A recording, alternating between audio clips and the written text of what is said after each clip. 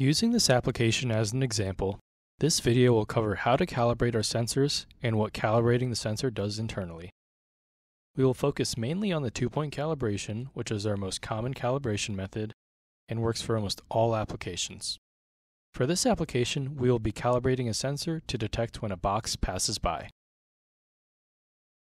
Here, we have a through-beam sensor with the transmitter pointed at a receiver.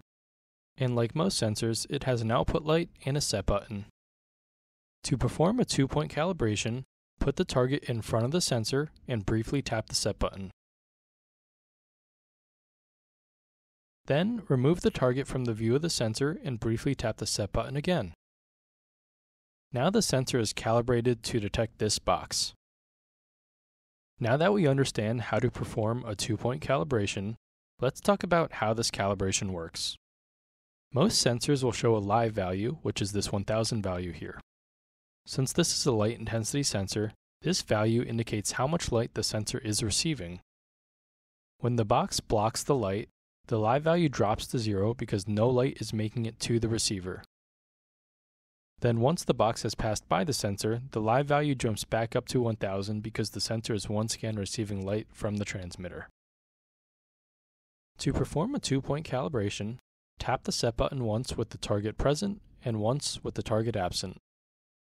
When we tap the set button with the target present here, the live value is 0. The sensor will internally note that the set button was pressed at this live value of 0. Then, when the set button is pressed with the target absent, the live value is 1000. The sensor will set the set point to be right in the middle of these two values, which is 500. The set point is a trigger point where, in this case, the output turns on when the live value drops below 500 and will turn off when the live value goes above 500. Switching gears to distance-based lasers, here we see that the live value of the sensor, which is the distance, is 300 millimeters away from the conveyor belt.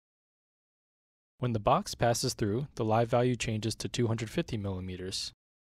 The two-point calibration is also applicable and will work for most applications. Just like the two-point calibration with the through-beam, tap the set button with the target in front of the sensor. The sensor will note what the live value is, which is 250 millimeters. Then tap set again when the part is not in front of the sensor, which is at a distance of 300 millimeters. The set point will be placed in the middle of these two distance values, making it 275 millimeters.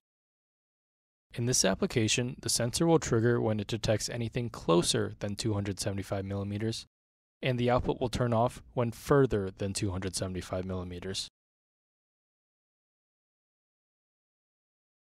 We should now understand how to perform a two-point calibration, what a set point is, and what's happening to the set point when a two-point calibration is performed.